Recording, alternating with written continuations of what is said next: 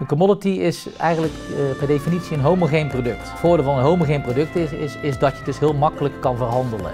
Uh, het heeft standaard specificaties, waardoor het van A naar B kan gaan en van A naar B naar C. Dus dat, dat, dan wordt die handel makkelijk. Dat is het kenmerk van een commodity.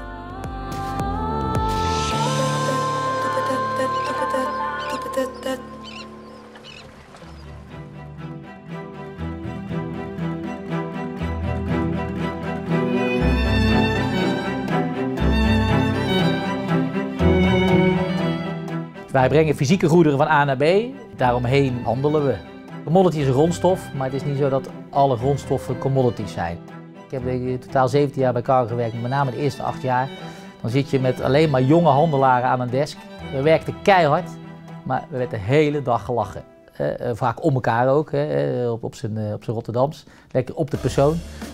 Vetra Groep is een, een, handelshuis in agrarische grondstoffen naar de, de, veevoederindustrie, de voedselindustrie en de energieindustrie.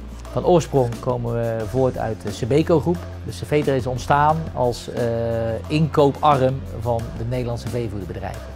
Die zijn uh, gegroeid binnen Nederland, maar ook buiten Nederland. En zo is Vetra meegegroeid tot een bedrijf wat uh, vandaag de dag in 19 landen zit met 31 kantoren.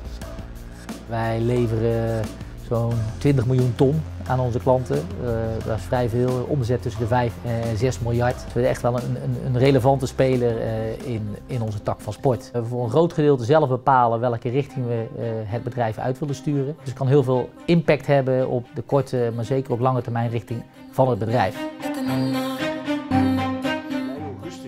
Die wordt ook geëxporteerd naar de wereld. We zijn begonnen met canola in Canada. Dan de, de droogte van de, van de maïsoogst in Brazilië, Zuid-Brazilië.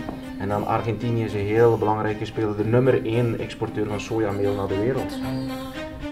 Op de Erasmus Universiteit is er een masteropleiding ontwikkeld en ik zit in de raad van, van advies van die masteropleiding. En er is ook een keuzevak ontwikkeld met als doel meer mensen enthousiast te maken voor de commoditywereld en industrie. Binnen Rotterdam zitten veel commoditybedrijven. Dus hoe meer talent we hier warm kunnen maken voor onze tak van sport, uh, ja, hoe, hoe succesvoller we als industrie en ik ook zelf als, als zal zijn. Je weet eigenlijk elke dag of je geld verdiend hebt of verloren. Je hoeft er niet op te wachten. Uh, dat is heel eerlijk.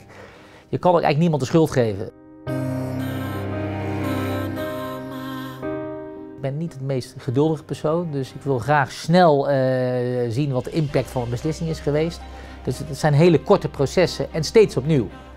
En een hele goede handelaar heeft 7 van de 10 keer goed. Dus dat betekent dat je minimaal 3 uh, van de 10 keer fout zit. Je kan niemand de schuld geven. Dat zijn wel, wel eenzame momenten. Als je perfectionistisch van aard bent en een beetje faalangst hebt, dan, dan is handel niet op je lijf geschreven. Want ja, je faalt gewoon uh, best vaak. En daar moet je mee om kunnen gaan. Wat ik leuk vind is ook de transformatie die, die er gaande is. Zowel in onze industrie, maar ook wij, wij als bedrijf zijnde. We komen van een, een, een, bulk homogene handelaar, die, uh, waar het met name ging om volume, volume, volume. En we zijn nu een nieuwe strategie gestart, die heet Road to Ingredients. Waar wij uh, inspelen op de gedifferentieerde vraagtrend. Dus wij zijn zowel binnen de veevoeder, maar ook naast de veevoeder uh, nieuwe takken aan het opzetten die uh, ja, inspelen op die, op die veranderende vraagtrend.